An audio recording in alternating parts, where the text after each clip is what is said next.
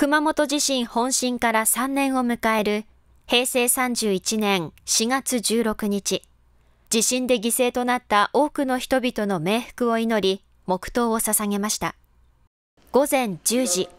佐藤義興阿蘇市長をはじめ、部長、課長級の職員およそ30人が市役所玄関脇で犠牲者が多かった西方向を向いてサイレンの音に合わせて1分間の黙祷を行いました。佐藤市長は哀悼の意を述べ、さらに